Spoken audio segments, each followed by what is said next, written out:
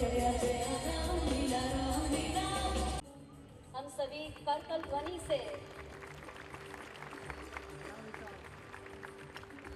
के सम्मान को बढ़ाएँगे।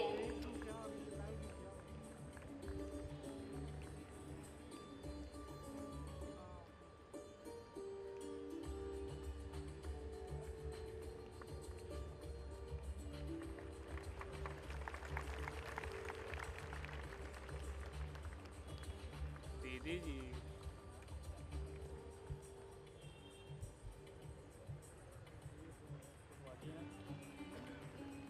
वाटी वाटी दी है वाटी।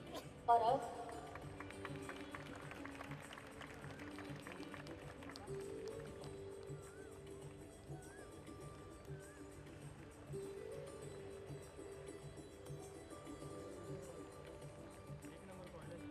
और अब? एक ऐसी हस्ती से आपका परिचय कराते हैं। अरुण।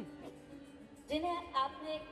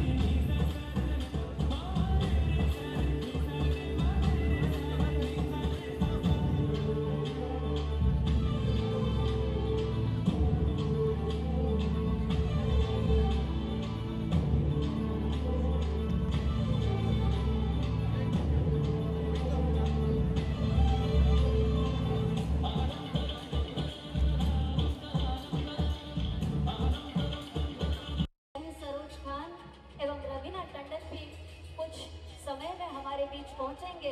और ये मेहमान जो हमारे बीच पहुँच रहे हैं। इन महानुभावों के कदम बढ़ रहे हैं मंच की ओर। बजा दो आज भी तालियाँ लगा के पूरा ज़ोर। बहने, गुलदस्ते व बहस से हमारे मेहमानों का स्वागत कर रही है। साथ ही कुछ मेहमान जो हो गया ना भाग क्या भागा यार क्यों भाग कौन भागा था इधर आओ। जिन्हें खास के लिए इनवाइट किया गया है हमारी बहनें उनका भी स्वागत कर रही है। गंद मेरे वाले यार। तुम एक आत्मा हो लेकिन आत्मा को भूलकर हम अपने आप को बॉडी से आइडेंटिफाई कर लेते हैं। उसका नतीजा क्या होता है? कोई कोई व्यक्ति जिस रोल में है वो समझता है मैं वही हूँ। अगर कोई ऑफ़िस में ऑफिसर है तो समझता है कि मैं ऑफिसर ही हूँ और कोई क्लार्क है तो समझता है मैं क्लार्क ही हूँ। इसका मतलब क्या हुआ कि हम अपने आप को इंसान के तौर पे इवेल्युएट नहीं करते। हम अपने आप को इंसान के तौर पे इवेल्युएट नहीं करते। मैं फ़िल्मों की बात कर रहा था तो देखिए हमारे फ़िल्मों की एक प्रसिद्ध हस्ती गई साहब हमारे बीच में आ गए हैं। आप दिल्ली में भी आए थे, मुझे याद है। हमारे ओ में आपने बहुत अच्छा प्रवचन दिया था। तो मैं भाई साहब, भाई बहनों को बता रहा था कि जो हाँ सुना। तो इसलिए हमको आप नई दिल्ली से हमारे बीच पधारे हैं।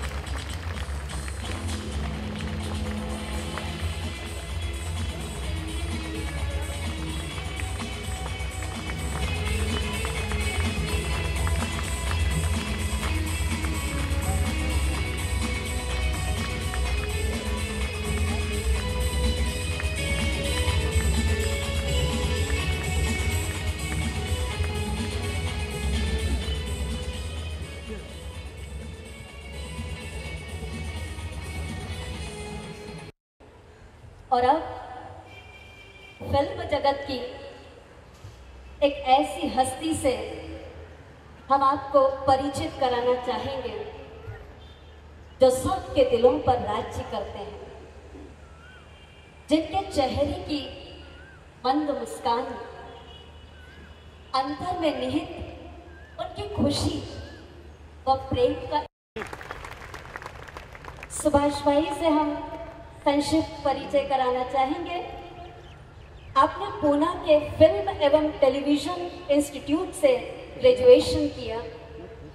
26 वर्ष से भारत व एशिया में फ़िल्म मेकर के रूप में आप प्रख्यात हैं। 1986 में कर्मा फ़िल्म के लिए प्रेसिडेंट ऑफ़ इंडिया द्वारा नेशनल अवार्ड से आपको सम्मानित किया गया।